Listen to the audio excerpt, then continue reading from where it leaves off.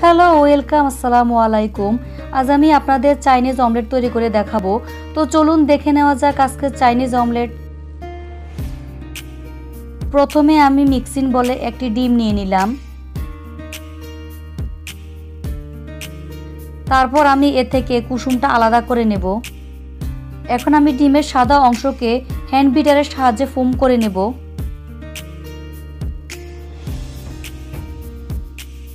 আমার ফোম করা হয়ে গিয়েছে। এরপর আমি এর মধ্যে ডিমের কুসুম দিয়ে আলতোভাবে মিশিয়ে নেব।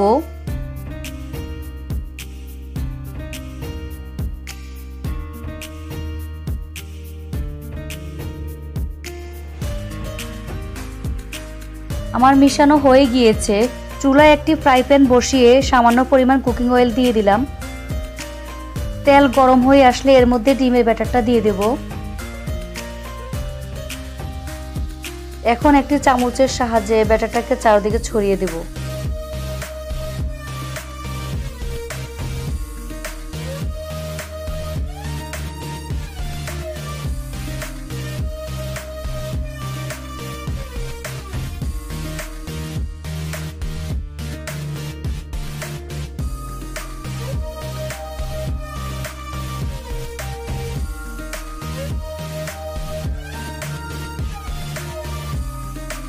এখন আমি ঢাকনা দিয়ে অপেক্ষা করব দুই মিনিটের মতো।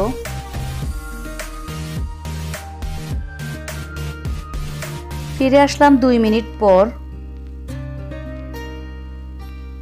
এখন আমি এটাকে ভাজ করে নেব।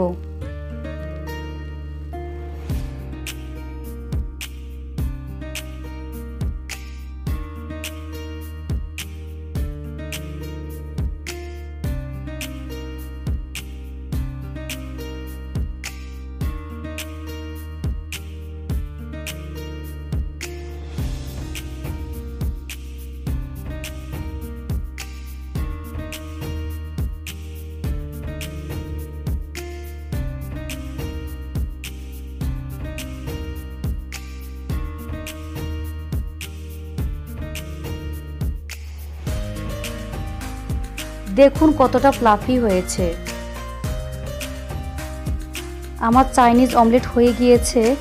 এখন আমি এটাকে একটি প্লেটে তুলে নেব। তো এই ছিল আমার আজকের রেসিপি আমার আজকের রেসিপি যদি আপনাদের কাছে ভালো লেগে থাকে তবেই আমার সার্থকতা। আশা করি আমার এই রেসিপিটি আপনাদের কাছে সহজ লেগেছে। রান্না তো সহজ হয় উচিত, তাই না? আমার রেসিপি যদি আপনাদের কাছে ভালো লেগে থাকে তাহলে আমার চ্যানেলটিতে লাইক কমেন্ট এবং শেয়ার করতে ভুলবেন না। সাবস্ক্রাইব করুন আমার চ্যানেল খুব শীঘ্রই হাজির হয়ে যাব নতুন আরেকটি রান্নার ভিডিও নিয়ে। ভালো থাকবেন, সুস্থ থাকবেন এবং আমার জন্য দোয়া করবেন। কিপ ওয়াচিং নীলা মজুমদার রান্নাঘর। আল্লাহ হাফেজ!